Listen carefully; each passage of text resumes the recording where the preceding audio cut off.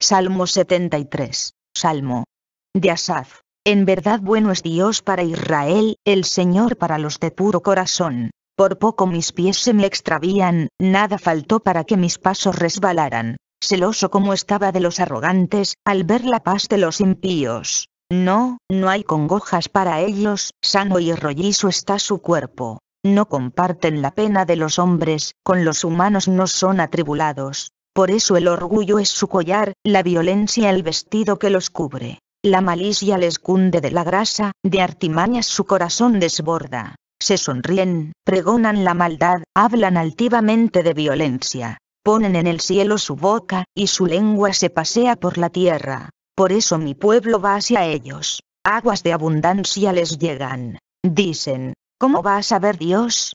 ¿Hay conocimiento en el Altísimo? Miradlos, esos son los impíos, y, siempre tranquilos, aumentan su riqueza. Así que en vano guardé el corazón puro, mis manos lavando en la inocencia, cuando era golpeado todo el día, y cada mañana sufría mi castigo.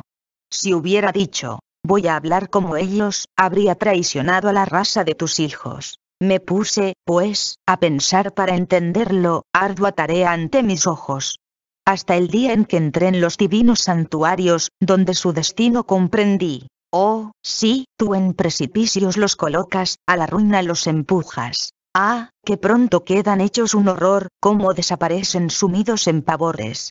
Como en un sueño al despertar, Señor, así, cuando te alzas, desprecias tú su imagen. Sí, cuando mi corazón se exacerbaba, cuando se torturaba mi conciencia. Estúpido de mí, no comprendía, una bestia era ante ti. Pero a mí, que estoy siempre contigo, de la mano derecha me has tomado. Me guiarás con tu consejo, y tras la gloria me llevarás. ¿Quién hay para mí en el cielo?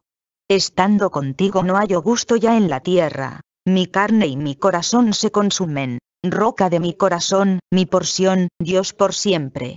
Sí, los que se alejan de ti perecerán, tú aniquilas a todos los que te son adúlteros. Mas para mí, mi bien es estar junto a Dios. He puesto mi cobijo en el Señor, a fin de publicar todas tus obras.